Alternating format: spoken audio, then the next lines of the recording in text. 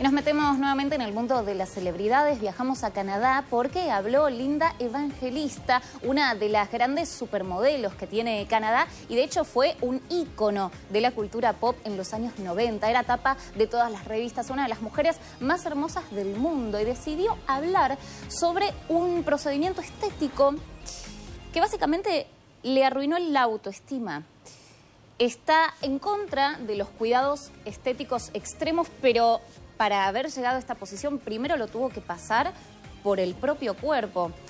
Y miren lo que dijo, porque ha compartido su experiencia de depresión y aislamiento también tras someterse a un procedimiento conocido como Culp Sculpting o criolipólisis. Evangelista era un ícono de los años 90, declaró que esta intervención resultó en efectos adversos severos, dejándola con depresión clínica.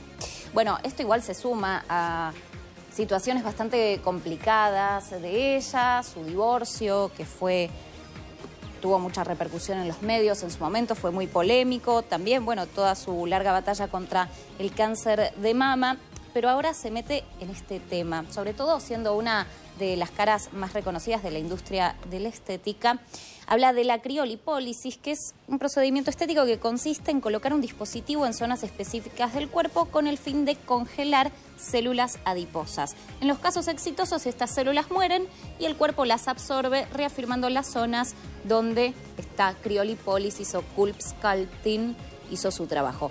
Pero existe un número importante de casos donde los resultados terminaron generando muchísimas complicaciones. Esto le pasó a la supermodelo que en los años 90 era la portada de todas las revistas importantes de moda y ahora dice que casi no puede salir de su casa. De hecho, desde que se hizo ese procedimiento estético, no pudo volver a intimar con nadie, no pudo volver a salir con nadie.